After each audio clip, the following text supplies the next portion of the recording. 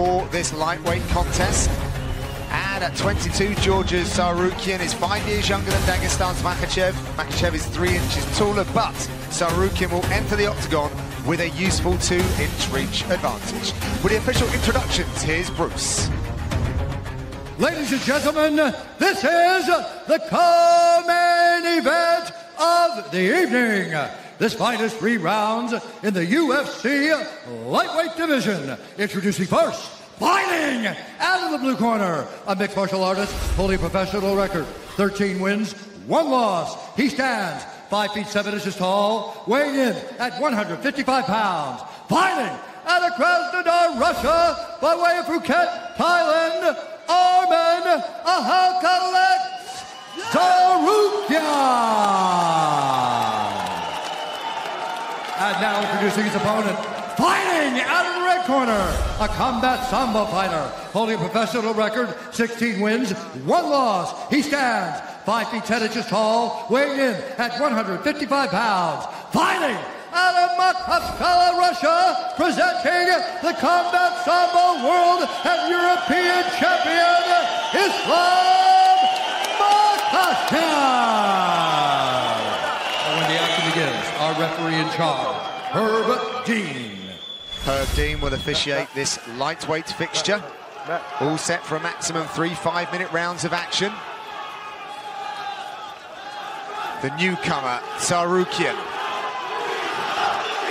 Running a four-fight win streak, Islam Makhachev. They touch him up, Tsarukyan in the red, Makhachev in the grey.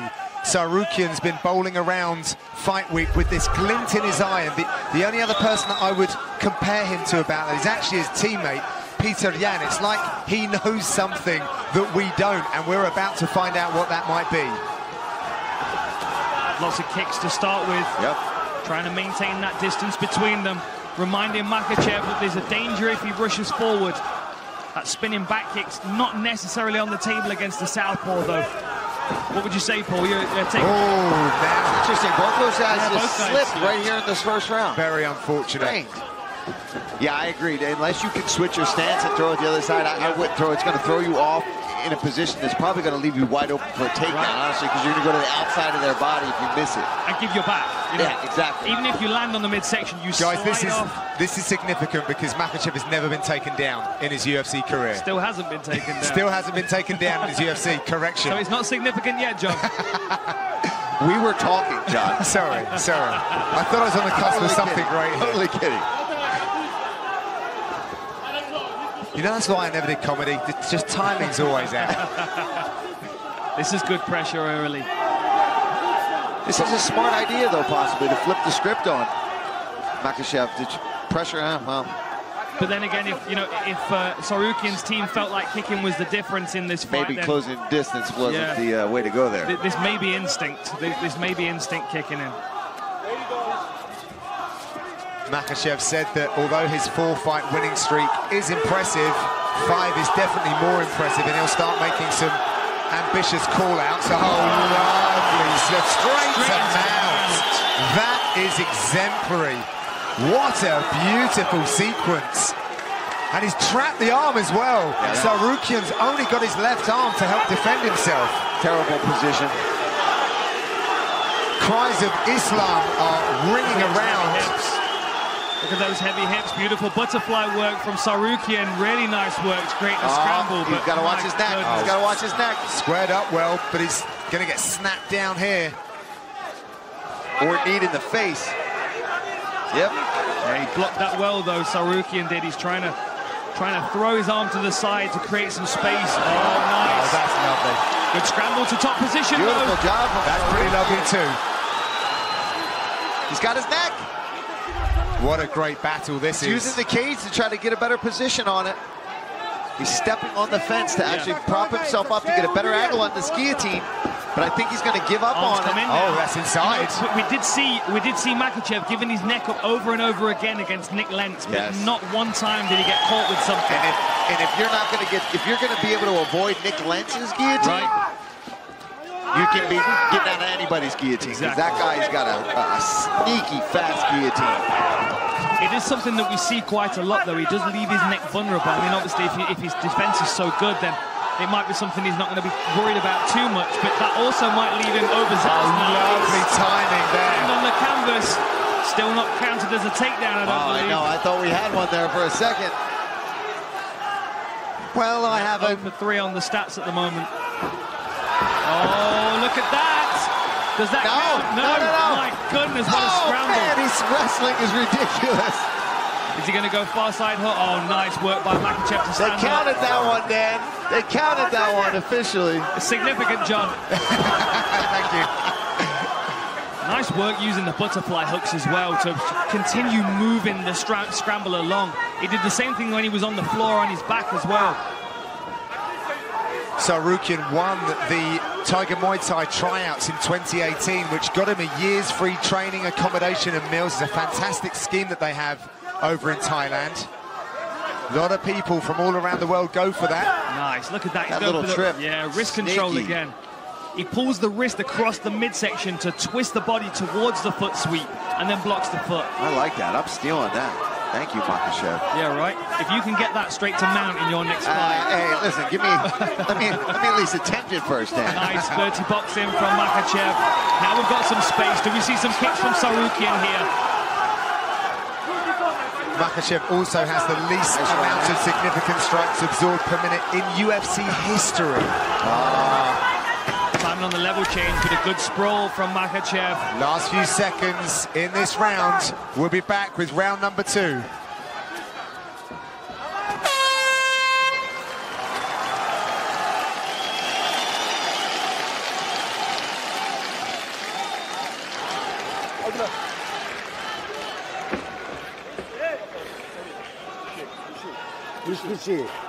Breathe. We don't force anything. All, all good. Everything's all right. Relax. All good. 40 seconds. Resting. Everything's good. You're doing everything right. Control him. Be confident. Control him. Be careful. Everything is good. Отлично. Work. Отлично. You saw him. Давай, давай, давай. Let's go. Давай, Now you're working. Okay.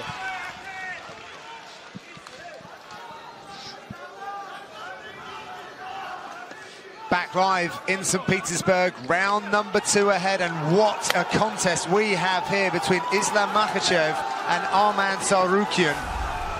Brilliant wrestling exchanges, very difficult to even keep up with it. Dan, what were the messages between the corners? I, wasn't really sure, to be honest, John. I was more paying attention to the posture of both the fighters. You know, Makhachev, it's the first time he's been under any kind of real wrestling offensive where he's, uh, he's had to be on the back foot. But he seemed very calm, calm and confident in his corner. Uh, the, the difference here is, you know, how does uh, Tsarukyan approach this second round? Does he does he continue trying that wrestling offensive, which really they're kind of butting heads against, they're kind of 50-50 in that one? Or does he start to diversify his attack, see a few more kicks that may set up the power hands that we know he's got as well? I'm just really impressed with his wrestling. I mean, Makhachev is one of the best out there. And he was able to take him down, even if it was for a, just a split second, but he was able to mix it in and counter his wrestling and flow with him, which is impressive all on its own. One thing that's evident when you shoot on Makhachev is that Nice. you, you don't get the takedown defended. It gets defended and then you get punished for it by getting stuck in a front headlock. Yeah. Yeah, this is some really high-level answering, though, by Tsarukyan, who actually played hockey to a good level, but really did find his North Star with MMA. Wrestling was part of that growing up. But as we see, he does it so very well for mixed martial arts. Went high there. Doing a good job circling to the close side of Makhachev here, circling to the lead leg, taking away that, uh, throws the back kick. I feel like that would expose his back. He's got to be careful throwing it, but watch, we say that until he lands it. Yeah, right. He's shooting a lot here. I feel like that intro, that uh, entry to the takedown was much more to come up into a clinch position. But he's got to watch that wrist control from Makhachev again. He's going to grab that far side wrist. Now he sees he's blocking it. He's trying to fight that, that uh, wrist control. Good he knows that. there Yeah, Makhachev, too. he, he knows that trip's there now. He's been caught with it one time. That's probably what he's trying to do as well, is land that right knee, land that right knee, and then switch the side, and that's when he goes with that left foot out, and gets that trip. He doesn't have that full wrist control. They're just kind of like playing back and forth with who's controlling that hand right now. He's putting his hand there in that position. He's trying to actually control Makhachev's hand right now. Cries of Islam ringing around the arena. They have been behind their man all week. Oh, there it is again. So quick. Just swipes away the leg, runs the pipe down to the mat, but Tsarukyan does a really good job of getting straight back up. We, we may see another contender emerging here in this division, just, just based on how 50-50 this is. Some wrist control here. You can see um, locked in on the Kimura grip here, but has to let go of of this kid is ridiculous. Oh, still on it. Kimura. Still on it, still on it. How insane would that be right now? Now this is very much a strength-based move, especially when uh, when your opponent's wise to what's happening. But you could potentially use it to just sweep or get some space, force Makhachev to have to defend it, maybe move around, and he could use that to pop back up to his feet. Or, or using the butterfly hook as well to control that far side and sweep him over towards the Kimura. Now he lets go of it. Tsarukyan was looking around for some instruction from his corner. His coach Sergey Good luck hearing Tarossian. in here right now. Yeah, he moved. He left that. He left home from his family to actually move in with his coach. That is really Years nice. ago. That hip pressure that he uses to Oh, slide yeah. past the guard. So strong to his so- feet. That's insane. Beautiful strong. job. Yeah, yes. Both guys. I mean, the back and forth grappling you're seeing right now. This is when you see wrestling and MMA grappling at its finest. And this, to me, is exciting to watch. You don't know what's going to happen, who's going to end up on top at any different time. I'm going to put it out there. I don't. I don't believe that the Makhachev camp really thought they were going to be in for this level of wrestling. No. I don't think so either. I think they thought they were going to dominate in that position. Heading towards the last 30 seconds of this second round now. It's so difficult to score. I mean, one takedown of seven for Makhachev. Uh, sorry, two takedowns of seven for Makhachev, one of eight for Tsarukyan. I mean, the strikes, the 10 ahead for Makhachev, 37 to 27 on total strikes. I mean, it's still razor The judges don't see that. Uh-uh, no, very difficult to score this fight. Last 10 seconds. We're going to have a short break, 30 seconds, and we'll be back with the third and final round.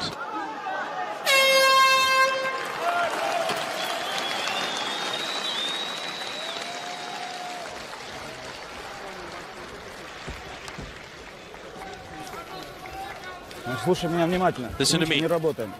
Нужно на стойке, понял? We're now working on it with him on the ground. We need to strike with him. Move Нужно more. больше двигаться. Need to Значит, move. слушай, нужно больше двигаться, закручивать от левой, от левой. Need to Правая move врубать, to the понял? left. Если будет борьба, Left проходим hooks, в одну right, ногу, straight. сажаем. Welcome back to St. Petersburg, where we are just ahead of the second round, looking into the third, and Paul, some great grappling exchanges. Well, yeah, we were talking about that in the first round. That was a beautiful sweep there. He, what he does is he controls the wrist, pulls it across your body, and then trips you outside trip. And he actually, the first round, ended up in mount with that. But we see the counter wrestling from Tsarukyan here is ridiculous. He is battling back. He's getting his own takedowns. He actually was able to take Makhachev down. He attempts that sweep again, but Tsarukyan defends it up. I mean, these guys have been going back and forth and grappling. If you can't get excited about grappling and wrestling based on this, then don't watch. Herb's not even sending them back to their corner No. now. They, they want to start in a 50-50 position, I think. Who's starting down in this round? Yeah. oh, Tsarukyan nice right hand. Nice. What would you say that was like a uh, Aryukin? Uh, a Hadouken? Hadouken? Yeah, I knew it was coming at some point. it had to, right?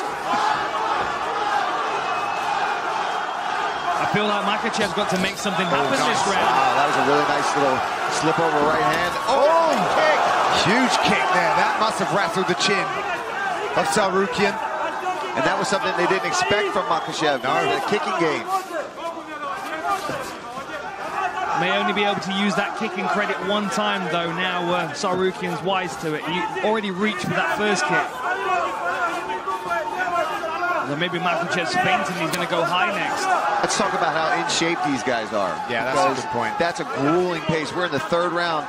Neither one really seems to be over breathing or, or slowing down that much. I mean, obviously they're a little fatigued. It's the third round of an MMA fight where there's been a lot of wrestling, but both guys came in shape for this fight. Yeah, absolutely. I thought that Makhachev looked fresher going back to the stool, if I'm honest.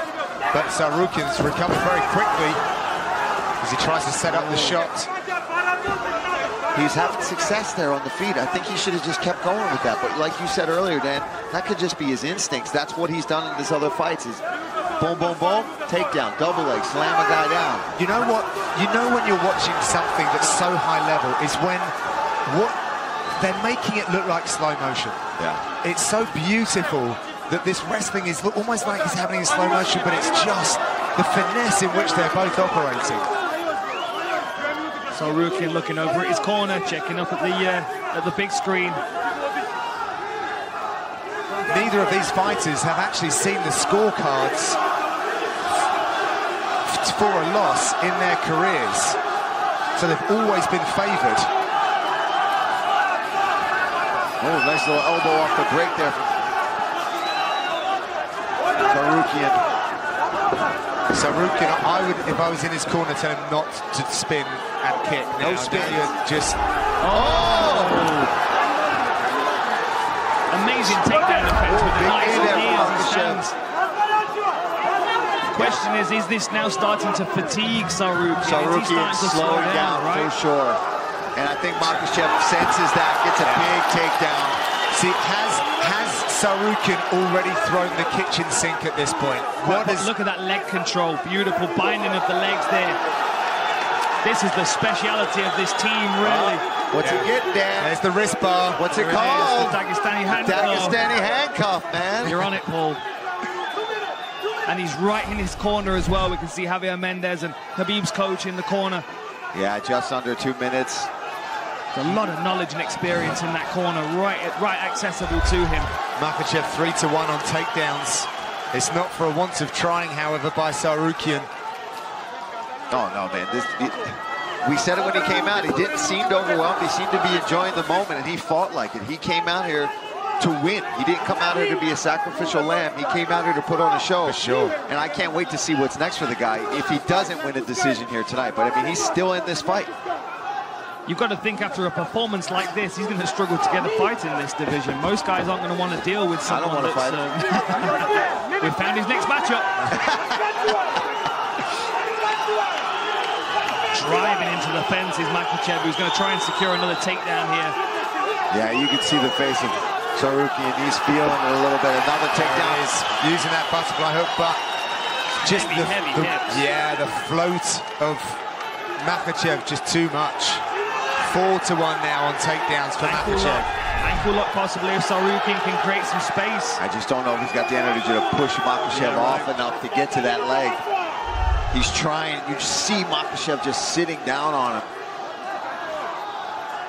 I, I think his hips are, are a heavyweight, to be honest. He might be a lightweight, but his hip his hip weight is heavy. Same with Khabib, man. I'm sure it's the same kind of pressure. Where You can't. It's something you can't see Uh-huh. as somebody watching. You have to grapple Oh, with it. where there we like, go oh my again, God. lacing the legs. Real sovereignty on the ground from Makhachev. Head pressure and just punching above his head into the face of Tsarukyan. He's doing a great job, but So are we going to call those the Dagestani leg irons? Yeah, that's all you, Dan. That's all you. That was what a great fight. I'm not stealing that one. What a fight. That was a great fight. Really evenly matched. Well, it has gone to the scorecards. We will have the decision when we return. All right, let's get it inside the octagon to Bruce Buffer. He has the official decision. Ladies and gentlemen, after three rounds, we go to the judges' scorecards for a decision.